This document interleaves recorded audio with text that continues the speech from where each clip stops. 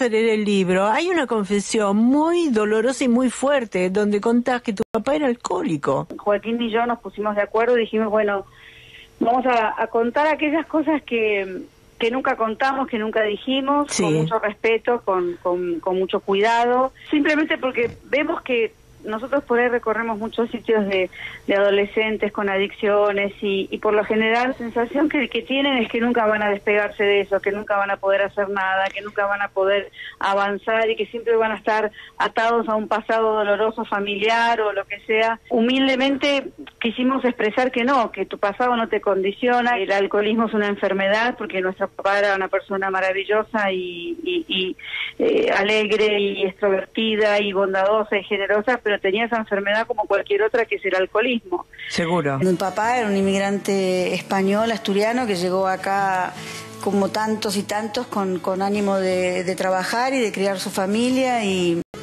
y, bueno, con esta debilidad, pero, pero nunca dejó de trabajar y nunca dejó de preocuparse por nosotros y de, y de darnos lo que podía y, hizo lo que pudo como tantos, ¿no? Y como nosotros también. Otra de las cosas también de una sinceridad brutal es cómo vos perdiste tu virginidad y tu primera relación importante con alguien que fue realmente un abusador. Sí, fue una experiencia que, que relato ahí también muy, muy dolorosa. ¿Qué edad tenías, Lucía?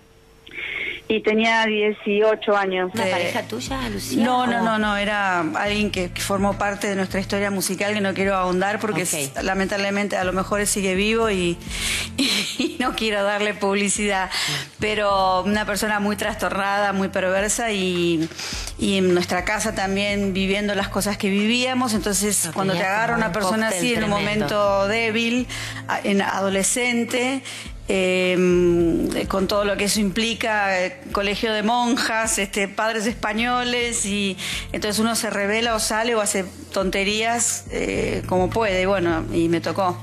Pero por suerte, gracias a, la familia, gracias a que Joaquín intervino y un, amigo también que era manager también, y lo agarraron prácticamente del cuello, el, tan valiente Ruboy y desapareció, ¿no?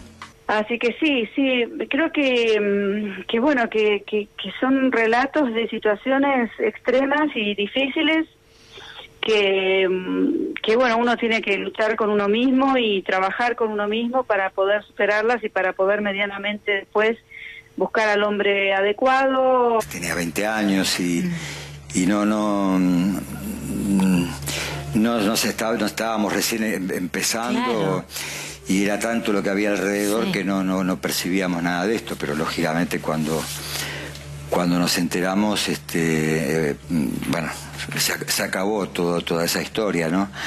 Pero bueno, yo creo que son cosas que te tocan vivir y que, y que mm, en este caso que quisimos contar lo que, todo lo que reluce no es oro, ¿no? Que, eh, darte cuenta de las cosas que valen, de las que no, eh, poder criar a tu hija con las por supuesto cometiendo errores diferentes, pero pero quizá no aquellas cosas que, que uno recuerda que te lastimaban. Claro, claro. Y bueno, y así ir viviendo.